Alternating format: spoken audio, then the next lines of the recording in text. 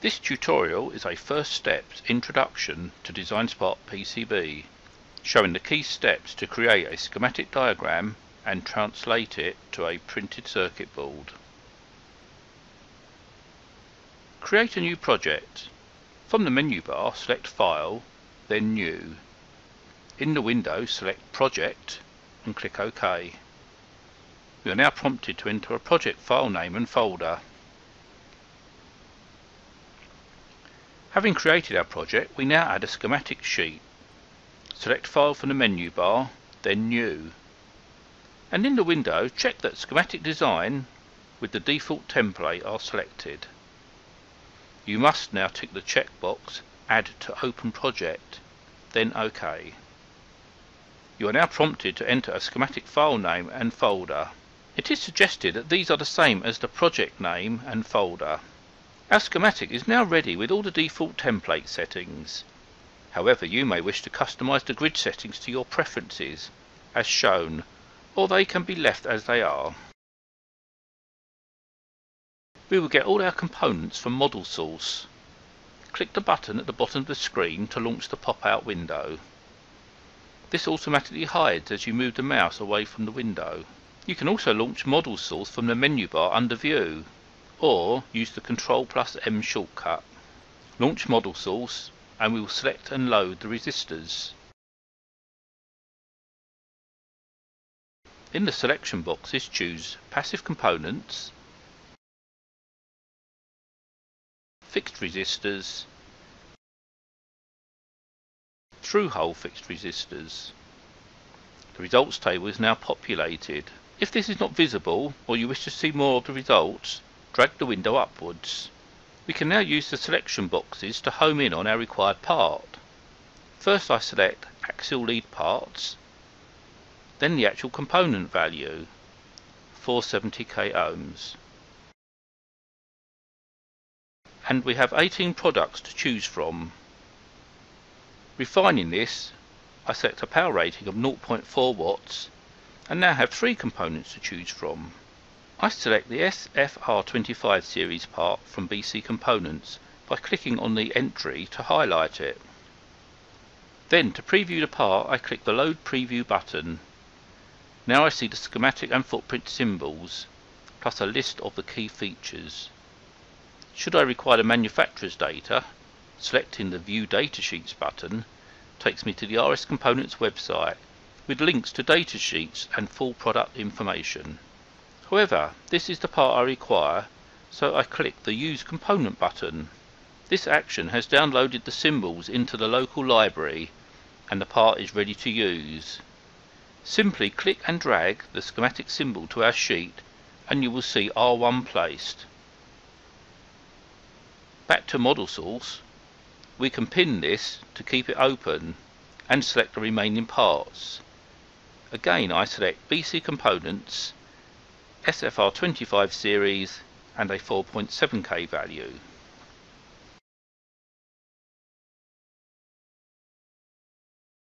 We then follow the same steps. Select, load preview and use component. This time we are informed the symbols already exist in our library, so I just select no for the overwrite options. Dragging the symbol to our schematic sheet automatically increases the component reference to R2 and repeating this a second time we get R3 making the whole process quick and efficient. After adding R4 we then add our capacitors. Simply select Passive Components, Capacitors, Ceramic Multi-Layer Capacitors. Again we have many selection criteria available but I select through hole mounting type and the capacitance. From the list I select one and follow the steps. Load preview, use component and drag it to my schematic sheet and then repeat for the 100 microfarad part.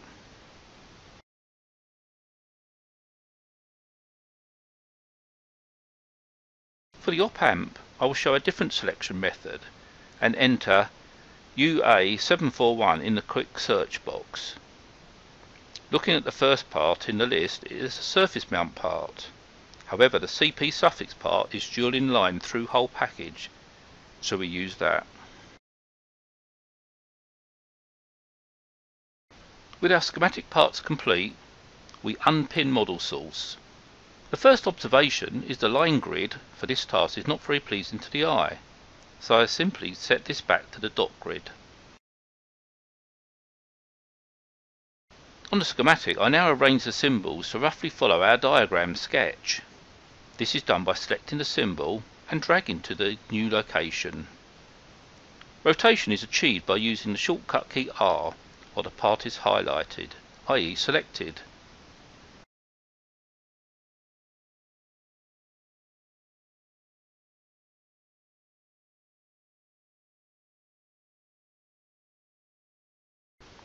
Should you accidentally select just text, as I demonstrate with R4, simply use the undo button. With the components in the approximate positions, I note that the text is not as I require. Launch the interaction bar with the shortcut key F9, select the Go To tab and the text styles. Clicking the first highlights the op-amp text which is the size I require. Part style confirms the text size I wish to change. To edit these, launch the Design Technology window by the shortcut Shift plus T.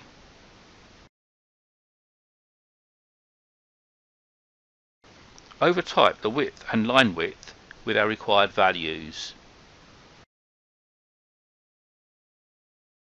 You can also move text and the component designators as required. Now let's start placing our nets. First we see the feedback loop on the op-amp between pins 2 and 6. Select the Add Schematic Connection icon from the sidebar. Click on the cross at pin 2 and start placing the net. Click on any point to fix the net and change direction. Finally click on the destination pin and that is the net placed. Add the connection from R4 to that net. Ensure that the Add Schematic Connection icon is highlighted while in this mode. Press Escape or another task to exit this mode. Now repeat this process to place all the nets as shown. Note, in practice it is best to zoom in on an area to make this process easier just use the mouse scroll wheels or a shortcut key. Repeat this process to place all the nets as shown. For this design, I shall now show how to add a component from the library. We require three off 2-pin connectors for the input, output and power. Select the Add Component icon, the default component library and the component from the pull down list. You will then see the preview symbol. Click the add button and then place three components. Press escape to exit the command. Continue with your net wiring.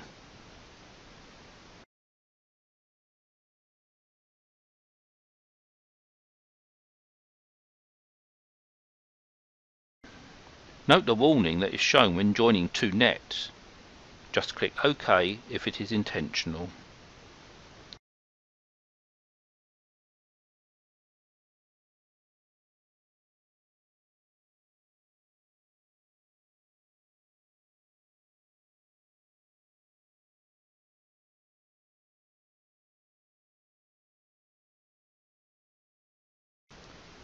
For the component R2, I show how to edit the properties and not display the package or pin numbers.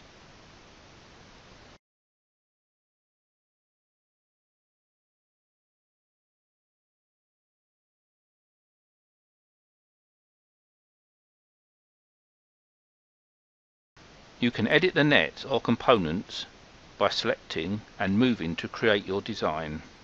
Now we can produce the PCB by using tools from the menu bar and selecting Translate to PCB. This opens the wizard and we use all the default settings.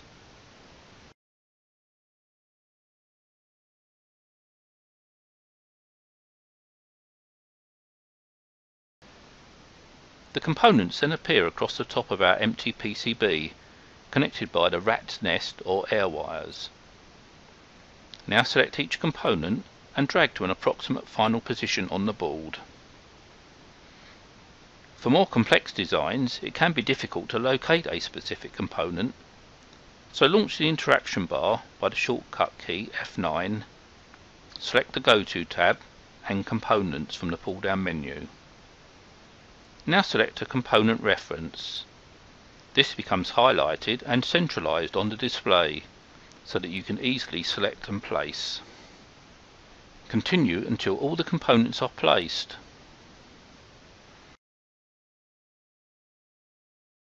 The interaction bar allows easy selection of nets.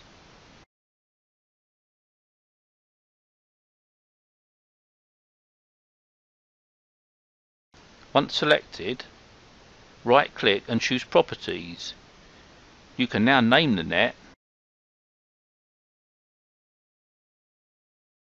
and choose a class which defines the track width.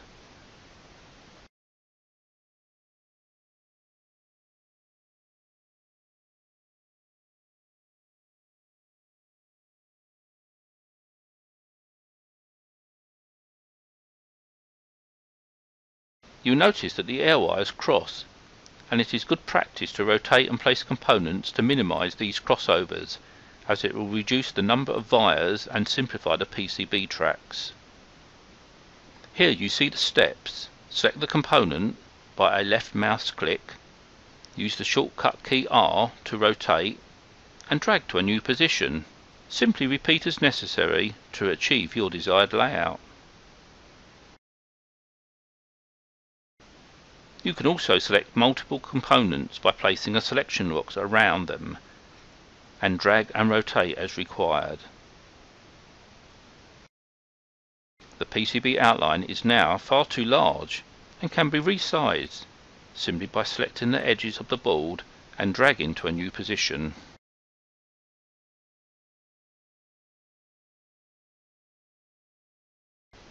Replace mounting holes as pads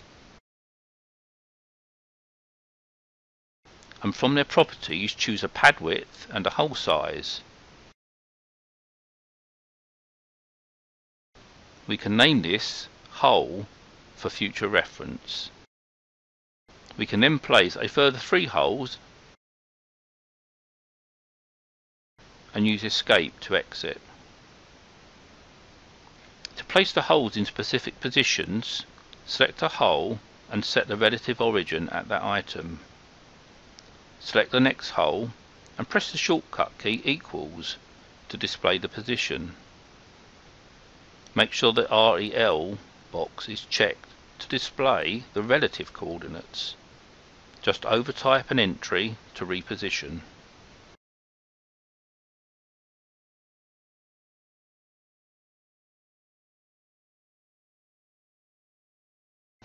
Here I show how to access the auto router and the results we obtain. The details of auto routing will be covered in other tutorials. But I will now demonstrate manual routing. Unroute all the nets by selecting Tools from the menu bar. We are now ready to manually add our own tracks. Select the Add Track icon from the sidebar. Click on the yellow air wire, not the pad, and a track will be placed from the pin. This track has appeared on the top copper layer. Select it and press the shortcut key L to change the layer. Make sure the Add Track icon is selected and continue to place tracks.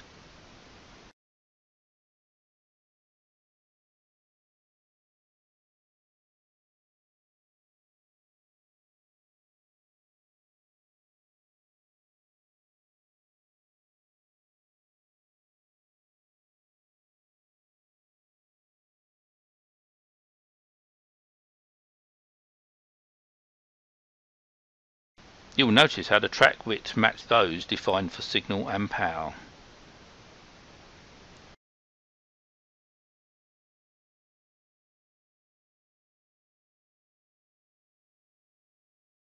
Here you see our completed PCB tracking.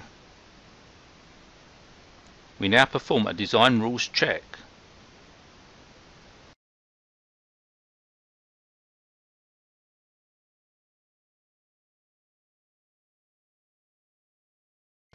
We have two reported errors. These are both easy to see, but should your errors be less visible, launch the interaction bar and from the Go To tab select Errors. Clicking on any of the error coordinates centralizes and highlights the error for further editing. In this case, I simply make the board area larger. To recheck the errors, open the Design Rules check, delete the errors, and check again. Success! No errors found. Here we see an air wire, but the PCB route is correct. To finalize such issues, right click and from the menu select Nets and then Optimize Nets and the view is corrected. We now have our PCB design completed. Finally, you can see a 3D view of your PCB by selecting 3D on the menu bar and then 3D view. This video has hopefully introduced you to the key steps in creating a schematic and PCB layout. There are many more tutorials available from the DesignSpark PCB homepage, which is accessible from the DesignSpark homepage. Thank you.